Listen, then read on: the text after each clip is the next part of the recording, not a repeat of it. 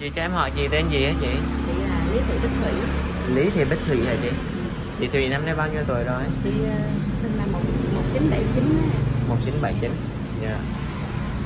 41 tuổi chị ha. Ừ. chị chị có chồng con gì không chị? Chị không có chị không có chồng con gì hết. Rồi à, mình có anh chị em gì không chị? Ở nhà ở dưới quê chị có anh chị em. Dạ có anh chị em. Rồi ba mẹ mình ba ba mẹ mình còn chị còn nhưng mà ba ba chị thì 80 mẹ chị 70 nhưng mà ba chị bị tai biến á. Bị tai biến dạ. Cũng không có có nương tựa vô ba mẹ được. Dạ rồi bây, bây giờ chị tự lập hả chị hả? Ờ, năm ờ, chị bị mà lúc mà hai mười bốn em. 214 là mình Ờ. phát hiện mình bị ung thư rồi chị dạ. Ờ, điều trị một năm. Một năm. Là 25 dạ. Bắt đầu chị ổn ổn lại chị đi làm cái nơi này nè là lúc trước chị làm. Lúc trước khi bệnh á. Dạ. Rồi xong quá trình bệnh và điều trị cũng nương tựa ở đây. Nương tựa ở đây nè để mà đi tới đi lui bệnh viện á. Dạ. Ừ, xong thì xong 2000 tới 2015 thì chị phải khỏe lại. Chị làm được chút chút là cũng tự trang trải được dạ. năm rồi. Năm rồi xảy ra một cái sự cố đó thì chị không làm được nữa. Năm rồi là chị bị lại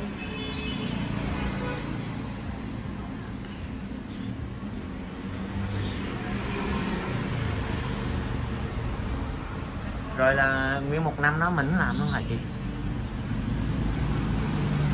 Rồi là không có kinh phí để điều trị đúng không chị?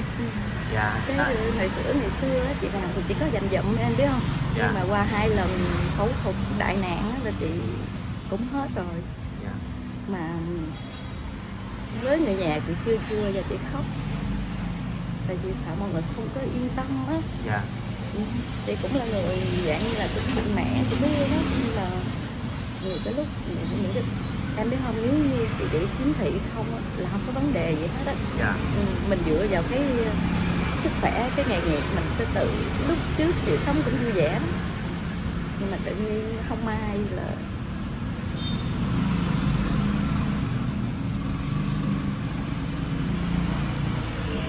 thì rồi cho em hỏi là mình bị là bác sĩ chẩn đoán là bị bệnh à, bị à, ung thư sao chị?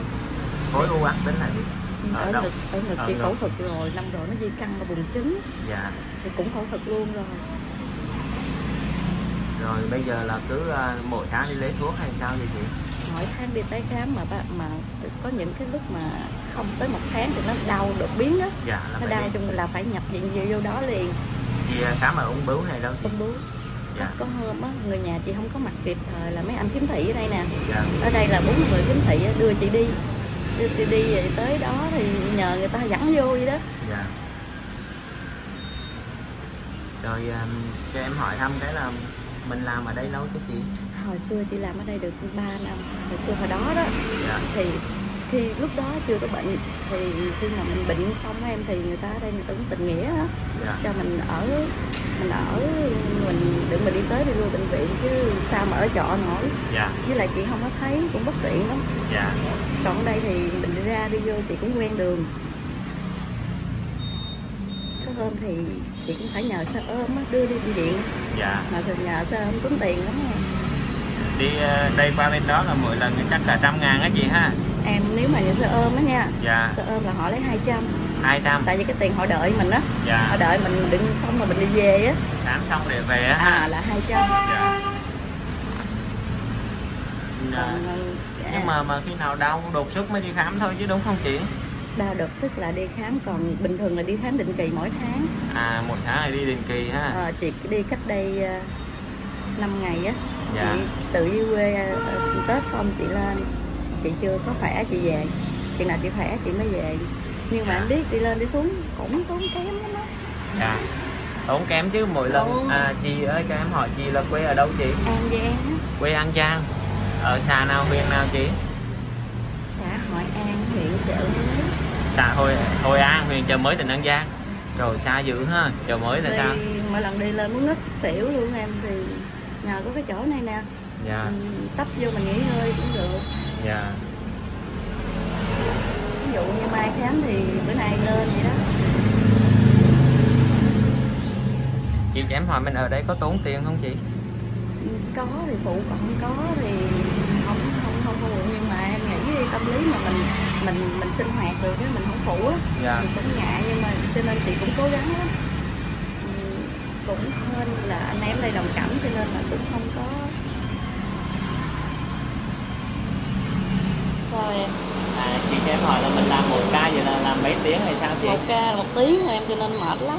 Một tiếng là Ừ, cái này là lúc- đấm bót massage? Ờ, cái công việc này phổ biến ở của người khiếm thị á. Dạ. Ờ, mà lúc trước chị khỏe chị làm ok lắm. Dạ. Chị được làm được nhưng mà từ lúc thuốc than nữa vô người cái không nổi luôn á. Ừ, à, bên trong à, mấy anh chị trong trung tâm thì vẫn biết mình bị bệnh cái gì hết anh em của nội bộ biết. Dạ. Ừ. nhưng mà lãnh đạo không biết hả? Ừ. mấy người mấy người quản lý có biết không? À, quản lý ừ, cái này cũng như là của mấy anh khiếm thị vậy đó. À, à rồi em À. hiểu rồi dạ. Rồi à, tại vì em sợ đôi khi à, không, không có quản lý em à, cái cái người mà tự mở ra chị à mấy anh khiếm thị á mấy anh có một ít dơ tí tiền á. Dạ. Anh mở ra anh thuê lúc trước anh thuê tụi chị làm nhân viên. Dạ. À, cũng là cùng cảnh thôi. Cũng lúc trước thì ổn. Chị, chị cho em hỏi cái là giống như mắt mình là không có thấy hoàn toàn đúng không chị chị không có thấy gì hết á. Dạ. Chị thấy là chị tự đi bệnh viện được rồi. Dạ. Nó không thấy là đi bệnh viện cái nhờ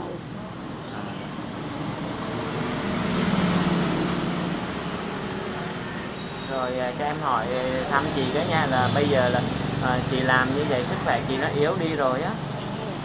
Không có làm nữa. À, vì thì kinh phí đâu để mình có tiền mình à, tiếp tục chiến đấu với bệnh tật chị? Thì bây giờ chị hết rồi đó chị mới nhờ mọi người giúp đỡ đó. Dạ. Thì đó thì em có nghe một cái anh nào đó thì em cũng không biết nữa. Anh gọi điện anh nói là cái trường hợp của chị là như vậy. Trước kia thì chị tự đi làm được. Ừ, chị không đó. chị không nhờ ai giúp đỡ hết. Ừ. nhưng mà bây giờ là cái sức khỏe nó càng ngày càng yếu đi. Chị làm không nổi dạ và không có làm nổi nữa. Chứ thì à, thì mới nhờ mọi người à, chung tay chia sẻ với chị. Ừ, chị cho em hỏi là mỗi lần vô thuốc thì tốn nhiều không chị? Thuốc thì mỗi lần một tô thuốc thì là tốn 2 triệu mấy. Hai triệu mấy? À, nhưng mà chị có bảo hiểm nhưng mà có những cái thuốc á ngoài danh mục á. Dạ. Ngoài danh mục của bảo hiểm tại vì thuốc thuốc đặc trị là hai triệu mấy. Dạ. Nhưng mà bác sĩ trong đó cho cho thêm những cái thuốc mà hỗ trợ về chẳng hạn như sức khỏe hay là đau đột biến uống vô gì đó. Dạ. Uống ờ, uống mà không hết thì mới mới chạy vô cấp cứu. Mà từ lúc mà nó cũng đau hoài mà khoảng ba bốn tuần mới đau là không biết sao nữa. dạ. Mỗi lần đau ghê lắm á Thảo ơi. Dạ. mắc thở luôn chịu nổi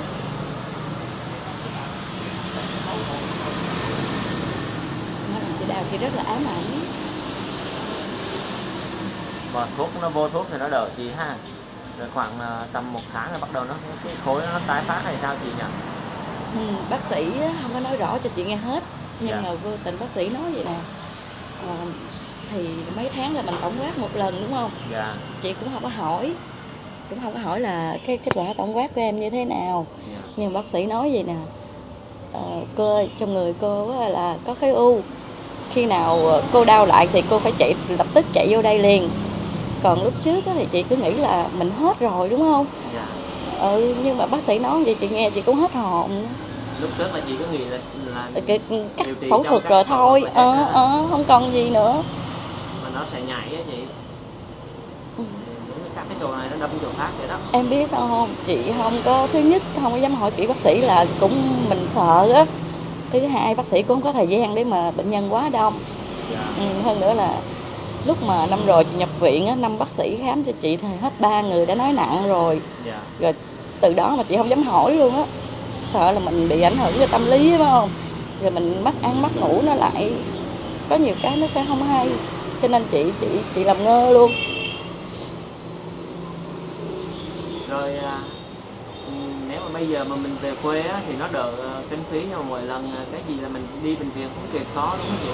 Dạ với lại về quê thì ở dưới quê chị cũng khó khăn mẹ ba mẹ á, dạ. ba mẹ là à, anh anh anh trai chị lo lo cho ba mẹ. Dạ.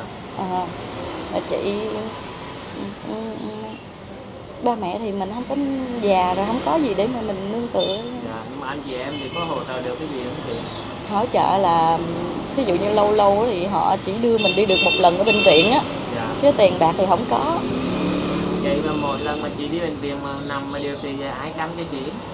Lúc trước á là em gái lúc đó là không có công việc thì em gái chăm. Lúc mà nằm mổ á. Dạ. Ừ, nhưng mà giờ em gái đi làm mà bây giờ đi là phải em gái ở Sài Gòn không chị? Không ở dưới quê. Ở dưới quê luôn rồi à, cho em hỏi thêm cái này này là chị chị ở trên này vậy là bây giờ là à, mọi sinh hoạt là chị tự làm được không chị? Sinh hoạt tự làm được ví dụ như là giặt đồ này kia rồi đó. Dạ. Ờ, còn khi nào chị thấy mệt trong người thì chị nằm nghỉ hoặc là uống thuốc. Dạ rồi mấy anh chị khác thì giúp đỡ ha. Mấy anh đây cùng cảnh em cũng cũng hiểu á. Chẳng hạn như mình nhờ nấu giùm mình gói cháo á. Dạ. Thì mấy anh chị đây làm thì mấy anh đây làm chứ à nói chung là ờ, cũng có hoàn cảnh cho nên mọi người cũng hiểu ờ, nhau em. nhau. Ừ. còn ở dưới quê ở dưới quê thì ba chị tai biến rồi. Dạ. Ờ, mẹ chị thì 70 rồi. Dạ. Đó. Cho nên chị mới chọn là ờ, mình nương tựa ở đây được tí nào thì hay tí đó. Rồi ờ, bữa tết lên là chị đi đi khám một lần rồi đúng không chị? Khám một lần. À, hiện tại là bây giờ là cứ, cứ ờ, khi nào đau là là, là thuê xe ôm đi chị á chị cho em hỏi à, bây giờ mọi người muốn chia sẻ với chị á à, thì à, mọi người có thể đến trực tiếp chỗ chị được không hay là sao? Được anh cái um, sao cũng được miễn giúp chị là chị chị thấy chị đừng để mình yên tâm á em. Dạ. để mình yên tâm mà ví dụ như tháng tới mình không phải lo về tiền bạc để phải đi bệnh viện. Kia rồi rồi chị à, em hỏi cái là sao mà chị tin tưởng em vậy? có người chị đắn đo lắm luôn á. Dạ. Nhưng mà chị nghĩ là lúc mà em em gọi cho chị bữa hổm lần đầu á không phải là chị không tin em mà chị rất là ngại. Sau đó em nói là khi nào mà chị nghĩ kỹ thì nói với em á thì chị nghĩ là tự nhiên em em cũng là một người rất là quan tâm tới tới những người khó khăn như chị. Tại vì em nói là khi nào chị ấy chị gọi lại cho em. Thế chị gọi không được chị cái chị mới nhắn tin cho em. Dạ tại em đi làm hơi bận á. Ừ. À, rồi à, thì à, em cũng không có hứa được gì nhiều chị ơi tại vì á, cái việc này mà giống như là chia sẻ hoàn cảnh chị thì nếu mà chị được mọi người quan tâm giúp đỡ thì có thể là đến trực tiếp thăm thăm hỏi chị. Chị ơi chị cho cái số điện thoại của chị được không chị? Được em. Chị có ngại không? Cho lên mạng thì chị có ngại không? Rồi Không. thì chị đọc giùm em cái hả để cho mọi người có thể à, hỏi thăm chị rồi có thể đến à, tới tận nơi để chia sẻ chị ha. Chị đọc giùm em cái chị số điện thoại 0935 0935 396 396 097 097 rồi mọi người có thể à, à, gọi điện cho chị Thúy đúng không chị? Chị Thủy. À chị Thủy. Đó, mọi người có thể gọi điện cho chị Thủy để hỏi thăm hoàn cảnh của chị Thủy có thể là chia sẻ về với chị Thủy để tiếp tục chiến đấu bạn tập à, hoặc là chị Thủy đang ở, ở trọ. Là ở chung với mọi mấy anh chị cô chú khác làm ở cái cái chỗ cơ sở ờ, so bóp ừ, so bóp, bóp. ờ, nằm trên đường ờ, cây trâm. Hồi nãy là chị nói số bao nhiêu em quên rồi chị? 396 ờ, phường 8 em cây À. trâm địa chỉ là 396 đường Cây Trâm, phường 8 quận ờ, Gò Vấp, thành phố Hồ Chí Minh đó cả nhà. Bây giờ nó đổi thành đường Nguyễn Văn Khối. Nguyễn Văn Khối Dạ, nó đổi thành Nguyễn Văn Khối mà thực tế là mọi người đến Gò Vấp hỏi Cây Trâm thì ai cũng biết hết. ừ, cây trâm là tên hồi xưa á Dạ. Cái cơ sở ờ, sông hơi này là tên là Tiền ờ, Tiên Giang Tiên Tiên Giang. và là của hai người họ họ Dạ, họ, họ góp vốn lại á họ À, do những người người mù đảm nhiệm ở địa chỉ là đó, hồi nãy mình nói rồi đó ờ, mọi người có thể ờ, ghé để mình chia sẻ với ờ, chị Thủy thế thì bây giờ ờ, chị thì cũng mong muốn duy nhất là à, có kinh phí mà để mà mà, mà, mà tiếp tục mà đi bệnh viện mà khỏi phải lo lắng thôi đúng không chị? đúng rồi đó em để Dạ. mình mình yên tâm á Dạ. À, hôm nay em đến để thăm chị mà cũng không có gì hết. À, à, có cái cái bé Xuân Vi ở bên Mỹ á chị. à, À, có gửi về à, số tiền uh, 2 triệu đồng. Sao mà họ biết cái tin của chị bị um, dạ khó khăn thẻ sinh viên này gửi rất là lâu rồi. Gửi từ trước tết kia rồi mà gửi à, nói là khi nào gặp ai khó khăn thì nhờ chuyển giúp. À, dạ à, thì à, nhờ em chuyển giúp Ừ. thì em à, cái hoàn cảnh chị cũng là đặc biệt khó khăn cho nên là à, gửi chị cái số tiền để mà chị à, có kinh phí mà tiếp tục là chiến đấu với bệnh tật chị ha? Ừ, chị chị cảm ơn Thảo với cảm ơn bé Xuân Vi gì á. Dạ. Thảo chị cảm ơn nhiều. chị. À, chị cảm ơn bé Xuân Vi thật ra nếu mà chị thấy mờ mờ Thảo chị chị đi bán vé số cũng được nữa. Con cái là mình chị không thấy gì hết á. Nên ra đường nó cũng khó. Thì đâu có đi bán vé số được đâu đúng. Đó giờ chị không thấy thì ra ngã sợ xe á. Dạ. Ừ, chứ chị thấy mờ mờ thì chị cũng cố gắng phấn đấu được. Dạ đây chị em em gửi đây đây chị nha một Chị- triệu. Dạ hai triệu. Thảo cho chị gửi lời cảm ơn bé bên đó Thảo bé Xuân Vi nhiều ha gương? Dạ. Chưa có biết gần ảnh của chị mà có cái tấm lòng của chị chị chị rất là vui luôn chị chị cảm ơn nhiều luôn á. Dạ vậy thôi chị ha hôm nay em ghé thăm chị như vậy. Thì à, à, hy vọng em sẽ tiếp tục à, trở lại thăm chị nhé Ừ, cảm ơn chị cảm ơn Thảo nhiều nha Thảo. Dạ dạ